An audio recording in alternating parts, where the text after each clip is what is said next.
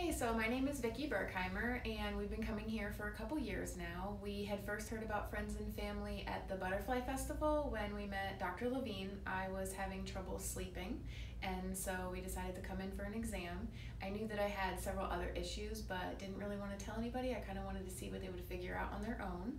And so after we did the exam and they reported back everything that was going on with my body, I was like, okay, you guys know what you're doing and um, you know i'm definitely interested in pursuing treatment. So i started treatment specifically to help me with my sleep also because i have scoliosis. My sleep improved almost immediately um, which triggered my husband to want to check this out. He was suffering from serious migraines. Within a week of him coming his migraines cut down dramatically and have completely gone away um, we also got our three kids coming here, so we come here as a complete family along with several of our extended family members. This place doesn't just feel like a doctor's office, they truly are family.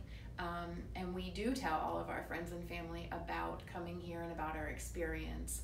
We not only receive top notch um, customer service from the front desk, but the doctors love on us and care for us way above just how our physical bodies are responding to the care. So we love it here and we highly recommend it.